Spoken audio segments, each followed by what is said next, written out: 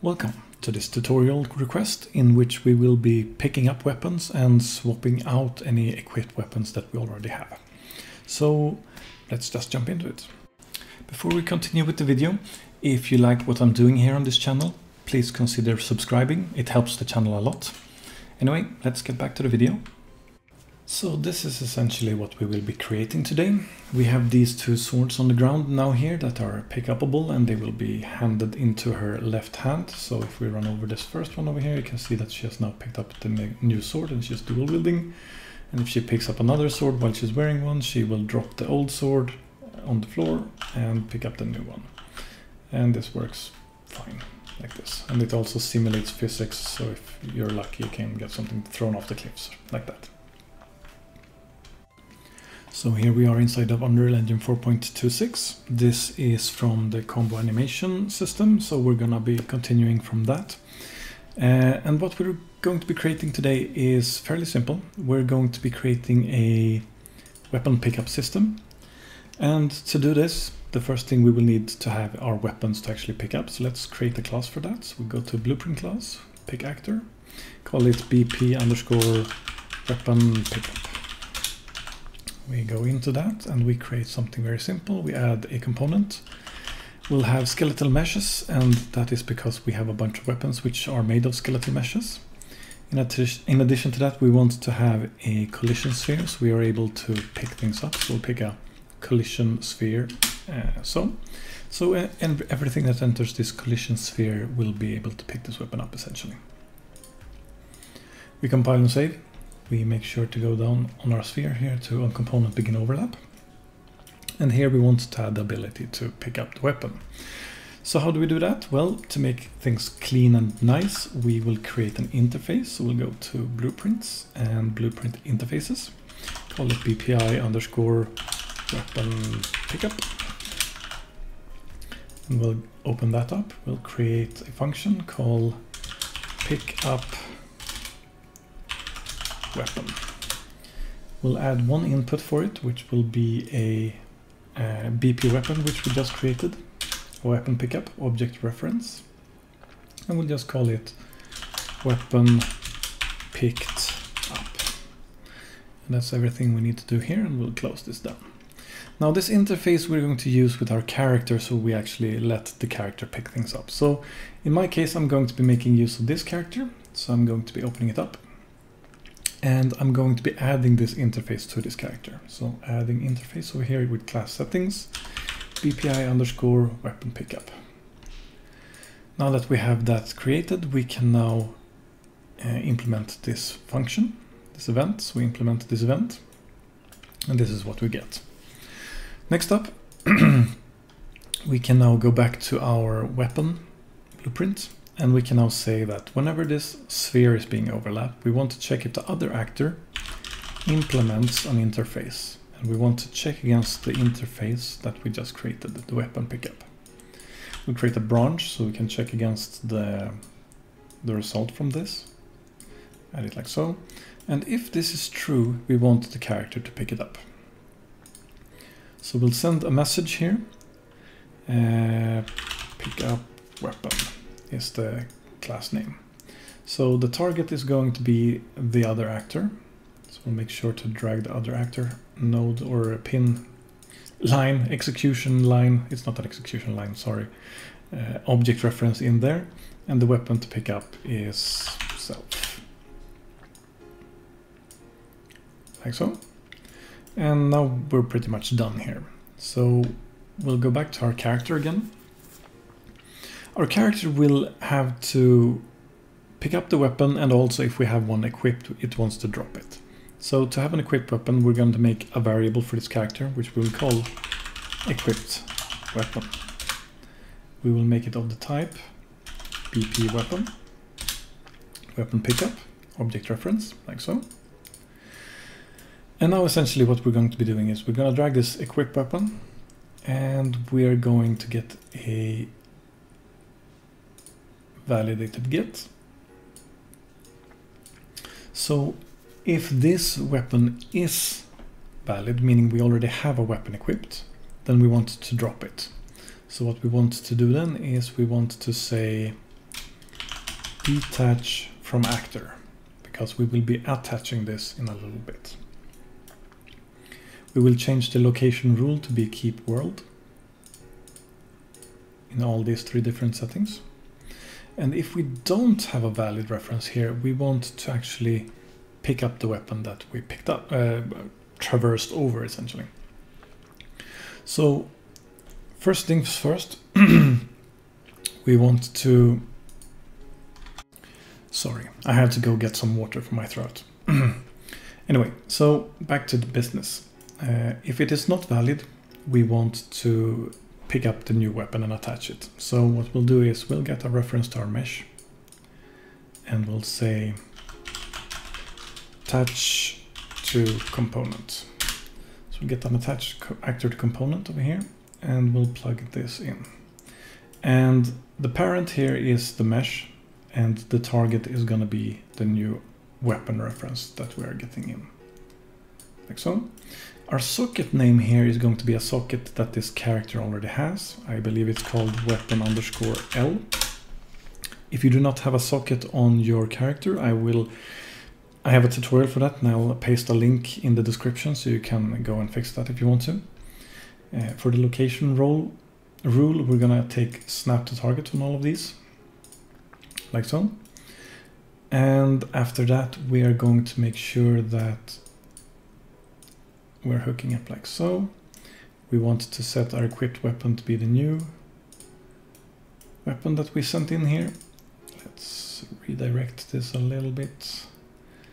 Uh, maybe if we put it up here, it'll be better. So...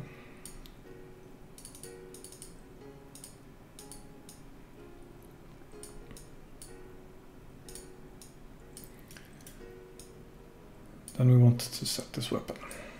And we'll get this weapon from the input from the event itself. Like so. So we're getting a this is a validated get, making sure that we have a reference also giving us these execution pins if in case I didn't mention that. But essentially, if it is valid, we are already equipping something. We're gonna detach the actor first, then we're gonna attach a new actor, then we're gonna be equipping our weapon. And these two steps are equally done for uh, both different scenarios. We compile and save. Now for our weapon, let's go back to it for a moment. We want to have a weapon that actually mm, can fall into the world, interact a little bit, feel a little bit alive, like not just a static thing. So what we're going to do is we're going to go in here to our in, in my case, I have Infinity Blade weapons imported to this project. We're going to take a few of these weapons. We can take uh, the Dragon Sword here, for example. And we're going to be making use of this for simulating physics. To do that with a skeletal mesh, we need to have a physics asset. And you can see that it's marked in yellow that we have a physics asset, none. To create one, we go just to create physics asset create and assign. And here you can choose what kind of a shape you want to have and some things like that. We're just going to be being a bit lazy, taking a box. It will be okay, not great, but good enough for our purposes. So now we've made it for the Dragon Blade.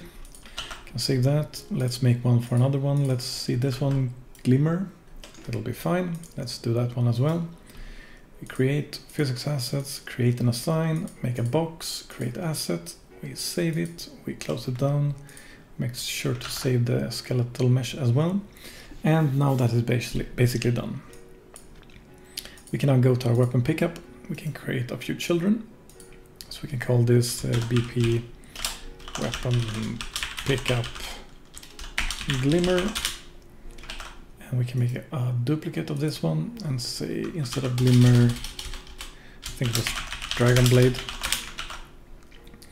We can open up the dragon blade can go to its skeletal mesh over here and we can say that it should use the dragon sword over here. And we'll just... No? Did I not? No? Let's try it again. Now I have it selected. Now it's in here. Then let's open up, let's open up the other pickup we created, the child for Glimmer. And let's go find the Glimmer sword mark the skeletal mesh, we go in and we mark it like so. So now we have the swords in here. Let's go to the base class for the weapon pickup. And on skeletal mesh we can say that we want to have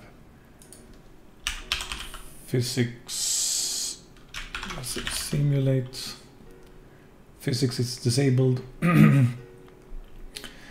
right we also need to fix uh, the collisions for this so let's go and do that first so we go type in collision we want to change our collision presets here. We can first choose block all because we want it to interact with everything. However, there are some things we want to ignore, which is pawns and the camera, so they don't actually make the camera fly around or the character have problems with it. So after we have chosen black block all, we choose custom. That way everything will be blocked here immediately and we can just say ignore camera and ignore pawns. And then we compile and save. And let's see here.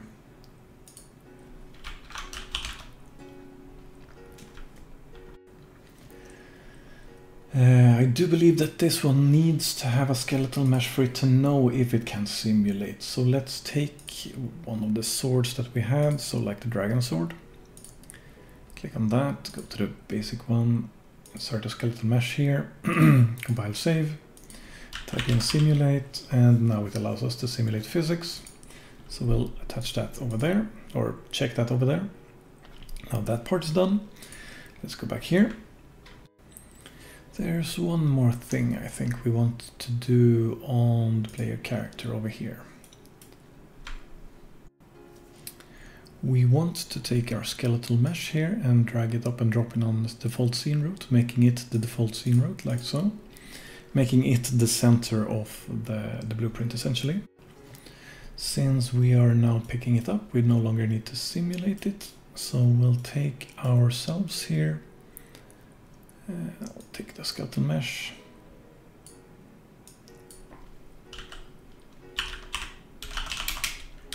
Set the simulate physics to be false. So eh, and compile and save. We can go to our character. And equally, when we're detaching something, we want it to resume to have physics. So we can make sure to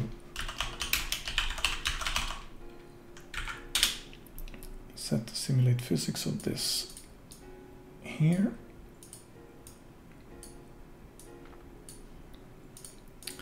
There we go. So we're stopping to simulate here, and when we detach it, we're starting to simulate again.